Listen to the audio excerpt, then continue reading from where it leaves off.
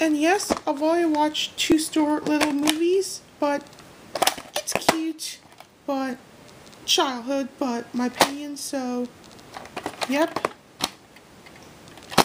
The 10th week of 2000. So, yep.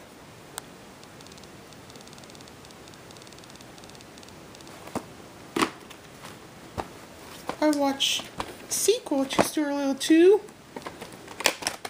Stuart Little movies are great, but they're seen, but they're cute. My childhood. 4030 to 2002. I'm not going to get Stuart Little 3 Call the Wild, but Stuart Little 3 sucks. So, yep.